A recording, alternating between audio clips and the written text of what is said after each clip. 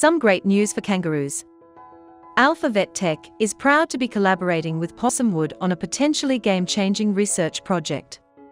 This will help researchers better understand the physiological and behavioral stress in eastern grey kangaroos in rehabilitation.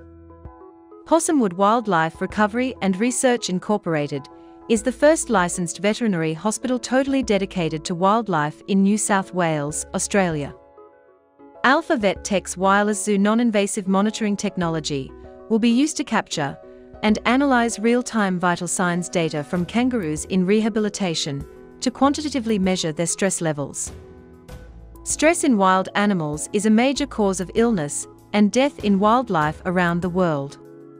The important contribution of this project is that it quantifies stress levels of wild animals in real time from the time of trauma, through treatment, to recovery and release back to the wild. Helping to gain better understanding of stress in wild animals. Professor Steve Garlick and Dr. Rosemary Austin, Possumwood's co-founders, and Dr. Audrey Shen from Aussie Mobile Vet, will lead this valuable research project and contribute to the global native wildlife community. Wireless Zoo's wearable sensing device can be attached to the kangaroos, either when they are in surgery or checkup, or when they are hopping about in the open.